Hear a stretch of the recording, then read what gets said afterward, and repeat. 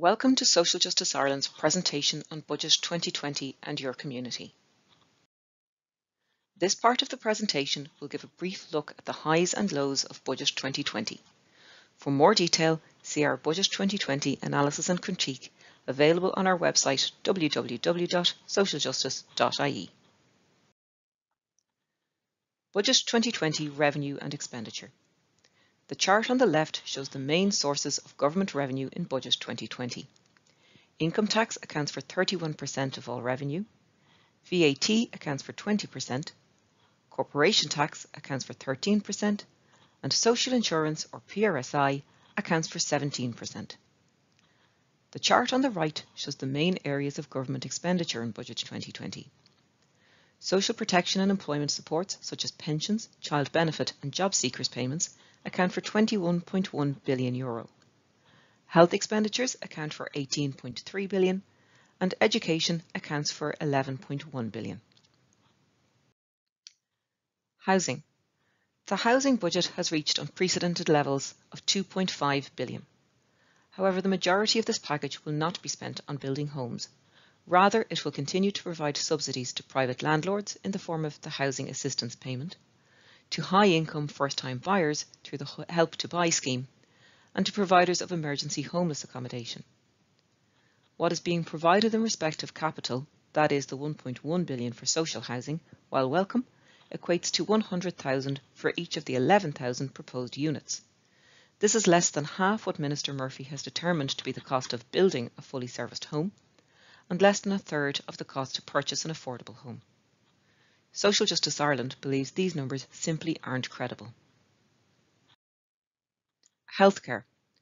Social Justice Ireland welcomed the provision of free dental for under sixes and the free GP care for under eights, but this is subject to GPs agreeing to the extension of the scheme.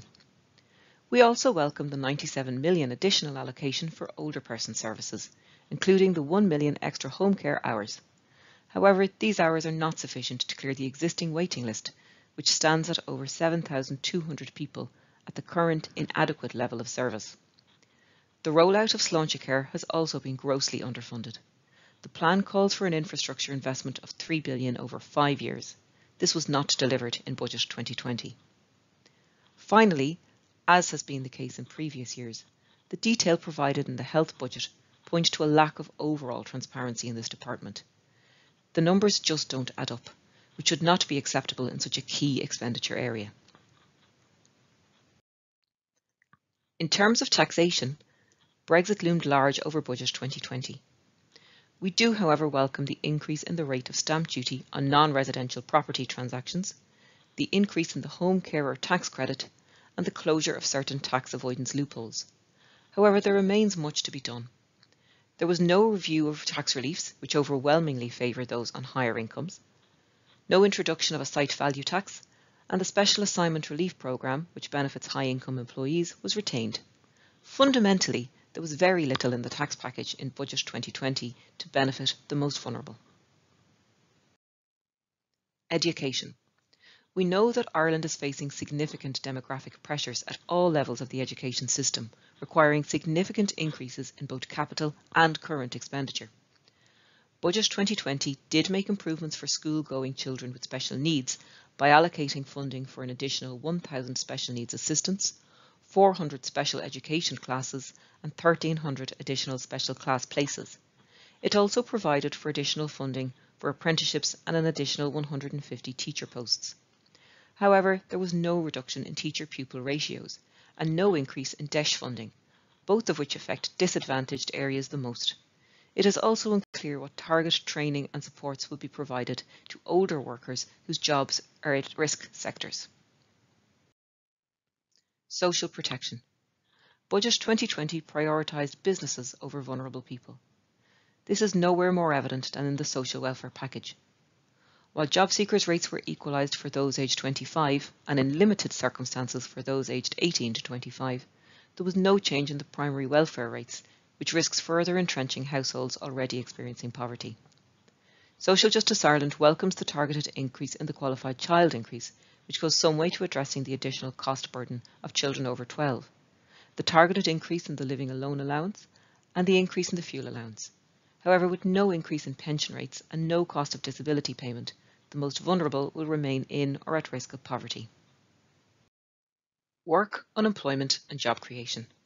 There is an unacceptably high instance of low paid employment in Ireland, with 110,000 people at work at risk of poverty.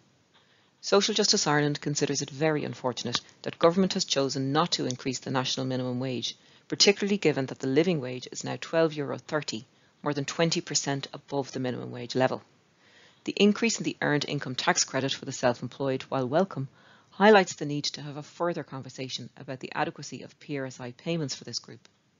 And while the increase in the National Training Fund levy is welcome, there is no targeted approach to at-risk jobs. This is especially disappointing in light of the acknowledgement by government of the probability of job losses post-Brexit. And finally, in this section of the presentation, we come to sustainability. The Minister promised bold and new decisions to meet the defining challenge of climate change. He did not deliver them. While we welcome the increase in carbon tax of €6 Euro per tonne, ring-fenced for specific climate-related expenditures explored later in this presentation, and the proposed appointment of a Just Transition Commissioner, there was very little ambition in Budget 2020 to really tackle the cause of this issue. There was no move to introduce a levy on single-use coffee cups, and no exploration of the 4 billion in potentially environmentally damaging subsidies identified recently by the Central Statistics Office. No commercial air transport tax or circular economy package, and no real progress on retrofitting other than a limited pilot of social housing in the Midlands. Future generations deserve more. Other areas that affect your community. The following charts show a selection of allocations provided for in Budget 2020 that may be of relevance to you and your community, grouped under the six headings of the Vision for Community Wellbeing, currently in development in PPNs across the country.